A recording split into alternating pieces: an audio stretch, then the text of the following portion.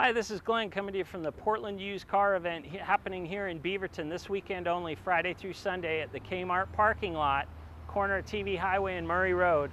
You clicked on a beauty. It's a 2007 Nissan Quest 3.2S.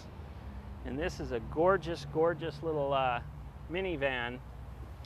So we're in kind of a tight spot here, so I can't really show it to you very well, but trust me, it's very nice. And if it turns out that you don't like this vehicle, I've got a little secret for you. They've trucked in hundreds of vehicles from all over the uh, Portland metro area.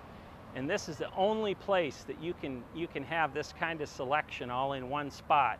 So get on down here. They're giving away hamburgers, hot dogs, Coke. So bring the kids down. It's going to be a great weekend to shop for a car. So come on down here.